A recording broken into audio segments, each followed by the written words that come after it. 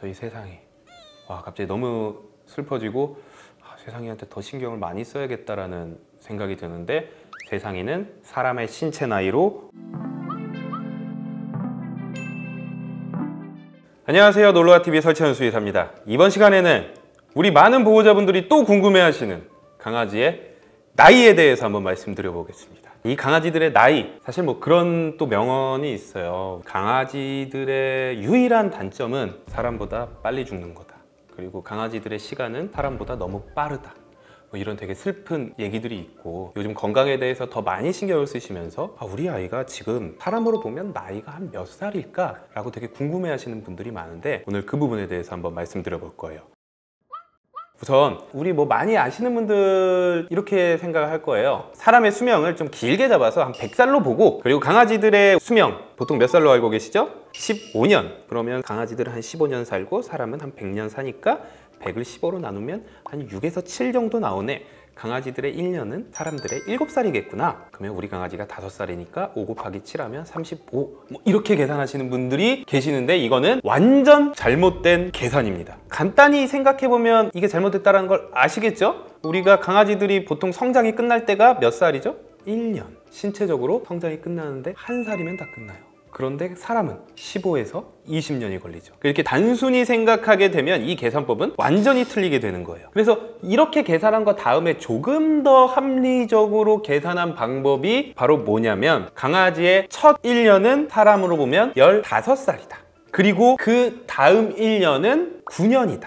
그러니까 강아지들이 2살이 되면 24살이 되는 거고 중소형견은 1년에 4살, 대형견은 1년에 7살을 더 더하면 된다라는 계산법이 나왔었어요. 이건 되게 합리적으로 보이죠? 그래서 여기 표에 보이는 것처럼 여기는 이제 미국은 자이언트 브리드니까 엄청나게 큰 아이들도 많아서 이렇게 계산을 해놨는데 여기서 이제 왜 작은 아이들은 4살, 대형견들은 7살일까? 막 이렇게 생각하시는 분들 있을 수 있겠지만 대형견의 수명이 소형견보다 짧습니다. 평균적으로. 그렇기 때문에 대형견의 1년이 더 한 번에 많은 나이를 먹게 계산을 한 거죠.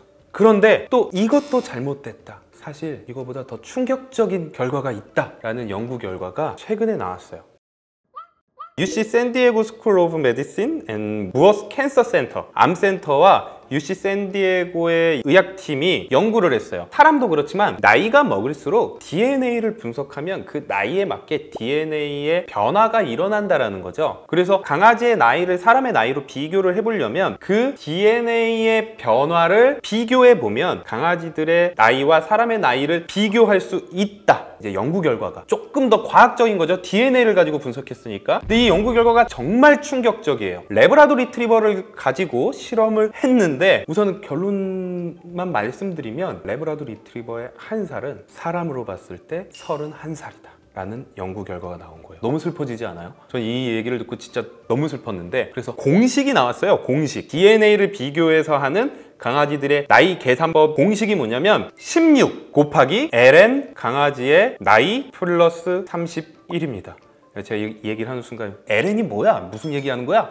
막 이럴 수도 있는데 LN은 로그예요 자연 로그라고 해서 밑을 알파벳 e로 드는 로그입니다. 제가 이제 수학을 조금 좋아하고 재수 없을 수도 있지만 수학을 좋아하는 편이었는데 그래서 LN은 뭐냐면 로그 e예요. 이거 여러분들이 머릿속으로 계산할 수가 없어요. 그래서 한번 계산을 한번 해볼게요. 제가 가지고 있는 아이패드로는 계산이 되더라고요. 공식은 여기 있죠. 16 곱하기 LN 강아지의 나이 플러스 31 그래서 한번 해볼게요. 한 살. 만약에 한 살이면 16 곱하기 이거 계산기 할 때는 여기 ln이 있잖아요. 한 살이니까 1을 먼저 하고 ln을 넣습니다.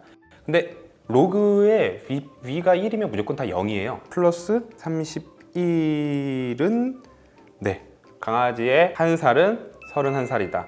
우리 집 세상이 지금 예상하기로 한 5살 정도 됐어요. 5살 정도 됐으니까 한번 계산해 볼게요. 16 곱하기 ln 5니까 5를 먼저 찍고 ln 플러스 31는 아 진짜 슬퍼져요. 네 진짜 슬퍼져요. 56.75세입니다 저희 세상이. 와 갑자기 너무 슬퍼지고 아, 세상이한테 더 신경을 많이 써야겠다라는 생각이 드는데 DNA 분석 결과로는 만약에 그냥 단순하게 이렇게 계산을 하게 되면 세상에는 사람의 신체 나이로 56.75세가 되는 거예요 그래서 이렇게 계산하는 게 힘드신 분들을 위해서 이렇게 표를 준비했습니다. 우리 강아지의 나이대의 사람의 비교 나이를 한번 확인해 보시는 게 좋아요. 네.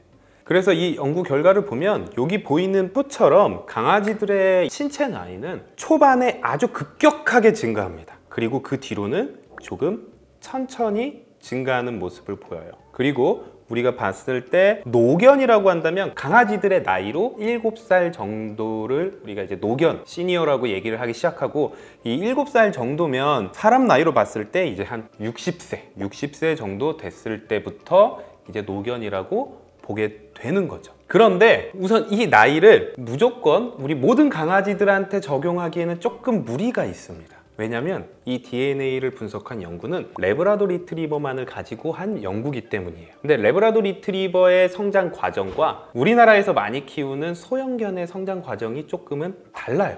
그리고 레브라도 리트리버의 평균 수명이 소형견의 평균 수명보다 더 짧아요. 보통 소형견의 평균 수명을 우리가 15살이라고 보고 대형견의 평균 수명을 한 12살로 보기 때문에 이 계산한 것보다는 소형견 아이들의 경우에는 조금 더 나이를 적게 생각해도 되겠지만 우리가 생각한 것보다 우리 강아지들은 더 훨씬 빨리 늙는다 라고 생각을 하시면 됩니다. 그러니까 그만큼 우리가 더 건강에도 신경을 쓰고 소중하게 우리보다 빨리 시간이 가는 아이들을 위해서 정신적으로도 건강적으로도 행복하게 해줘야 되는 거죠. 여기서 하나 더 짚고 넘어가고 싶은 게 있어요. 요즘 우리나라에 대형견 키우시는 분들 정말 많고 가끔은 되게 힘드세요. 이게 병원 가도 비싸지 괜히 착한데 데리고 나갔다 대형견 키운다고 막 핍박받고 근데 거기다가 수명까지 짧아 이거 도대체 왜 이런 거야 막 되게 많이 슬퍼하실 수 있는데요. 그 이유가 뭘까요? 보통 강아지들 뿐만 아니라 이 다른 동물들로 봤을 때 덩치가 클수록 오래 삽니다. 단적인 예로 코끼리 50년 살죠? 쥐 한 2년 살아요. 가장 큰 이유 중에 하나는 코끼리 같은 경우는 부피당 체표 면적이 쥐에 비해서 훨씬 적겠죠. 부피가 크니까. 그러면 열을 덜 뺏기고 내가 대사하는데 이 심장 박동 자체가 코끼리가 쥐보다 훨씬 더 낮아요. 적게 뛰어도 돼요. 그러니까 그만큼 일을 덜 해도 되는 거고 산화 스트레스가 훨씬 더 적기 때문에 평균적으로 덩치가 큰 동물들이 더 오래 삽니다. 그런데 왜 개들은 덩치가 더 큰 대형견들이 더 오래 못 살까에 대한 고민이 있었던 거예요. 그래서 미국은 아, 진짜 대단한 것 같아. 뭐가 있냐면 Dog Aging Project라는 걸 시작했습니다. 강아지들이 더 오래 살게 하려면 어떻게 해야 되는지. 거기서 나온 거예요. 왜 대형견들은 더 빨리 죽을까? 다른 동물과는 다르게. 그래서 거기서 나온 게 뭐냐면 치와와 아이들이 태어나서 1년 동안 거의 다 성장을 완료해요. 근데 커봤자 이렇게 태어나서 이만해져요. 근데 리트리버 아이들도 이만하게 태어나서 이만해져요. 거의 같은 시간 내에. 그러니까 이때 너무나도 많은 산화작용을 거친다는 거죠. 너무 빠른 노화작용을 거치면서 그리고 이 성장한다는 건 뭐예요? 세포 분열이라는 게 암이랑 비슷하거든요. 이 과정에서 암과 비슷한 작용들이 많이 일어난다는 거죠. 이것 때문에 대형견들이 1년 동안 너무 빠르게 성장하고 그때 너무 산화 스트레스가 많기 때문에 그것 때문에 오래 살지 못한다라는 이론도 있어요. 그래서 어떤 가설도 있냐면 성장하는 강아지들한테 항산화제가 많은 음식들을 먹였을 때 이 산화 스트레스를 조금 보완해 줄 수 있고 수명이 늘어날 수도 있겠다라는 가설도 있습니다. 그렇다면 뭐 지금 벌써 다 성장이 끝났고 이제 천천히 성장하고 있는 천천히 늙고 있는 상황에서 우리가 우리 강아지들을 건강하고 오래 살게 하기 위해선 어떤 것을 해줘야 될지 한번 알아볼게요. 첫 번째로 좋은 음식을 주는 겁니다. 그러니까 뭐 사료도 정확하게 저도 사료 전문가가 아니기 때문에 말씀 못 드리겠지만 아주 기본적인 것들만 알거든요. 먹는 건 매일 먹는 거잖아요. 그러니까 이게 쌓이고 쌓이면 우리가 알게 모르게 건강에 영향을 끼치는 경우들이 많아요. 그래서 우선 첫 번째가 좋은 사료. 저희도 다음에 영양학 선생님 불러서 좋은 사료란 어떤 것인가에 대해서 한번 또 말씀을 드려볼게요. 두 번째로는 적정 체중을 유지하게 해주는 겁니다. 그냥 미안하고 산책 못 해주고 못 놀아준다고 사람들이 그 미안한 마음으로 계속 먹을 것만 주는 경우가 있는데 이건 오히려 강아지들을 학대하는 거예요. 이거를 내가 더 잘해주려고 노력을 해야지 이걸 먹을 걸로만 풀어주려고 하면 보통 비만인 강아지들이 건강한 체형의 강아지들보다 평균 수명이 거의 1년 이상이 짧아요. 우리 보호자님들이 그렇게 만들고 있는 거죠. 비만인 강아지들한테는. 세 번째로는 당연하겠죠. 우리 산책 많이 시켜주고 정신적으로 스트레스를 받게 해주지 않는 것도 당연히 중요하고요. 네 번째는 주기적인 건강검진입니다. 세상이도 곧 주기적인 건강검진에 들어갈 거고요. 세상이 말고 12살 버블이 같은 경우에도 저는 이제 수의사고 부담이 덜하니까 6개월에 한 번씩 건강검진을 하고 있어요. 제가 진료를 하다 보면 예방이 치료보다 훨씬 더 중요하다는 걸 항상 뼈저리게 느끼기 때문에 전 한 6개월에 한 번씩 혈액 검사와 암에 대한 좀 보조적인 검사들 이런 것들을 하고 있습니다. 다섯 번째, 어, 이거 진짜 중요해요. 다른 그 무엇보다 우리 강아지들을 건강하고 오래 살게 하려면 치아 관리.